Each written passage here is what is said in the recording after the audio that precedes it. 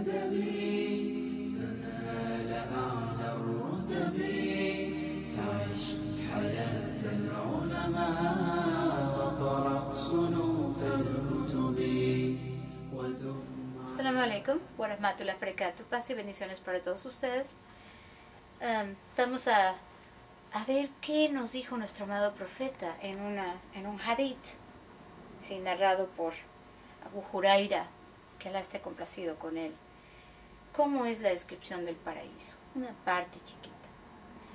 Dice que narró Abu Huraira, que Allah esté complacido con él. Le preguntamos al profeta Muhammad, paz y bendiciones sobre él, oh mensajero de Allah, háblanos del paraíso. ¿De qué está hecho? Y él respondió, un ladrillo de oro y uno de plata. Ladrillo de oro y uno de plata. Y su cemento es el, as- el asmi- almizcle, perdón, el almizcle. Sus piedrecitas son rubíes y zafiros. Y su suelo es de azafrán. Aquella persona que logre entrar en él, en el paraíso, disfrutará de una felicidad permanente, nunca entristecerá. Y además vivirá eternamente, o bien que nunca morirá. Su vestimenta nunca se desgastará y su juventud jamás se desvanecerá.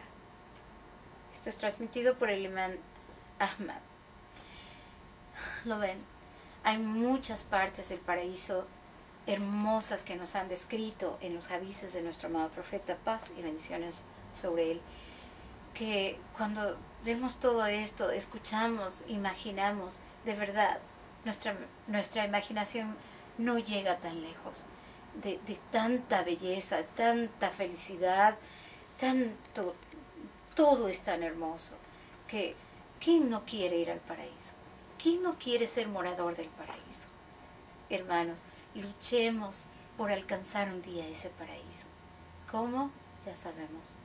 Adorar al único Dios por sobre todas las cosas.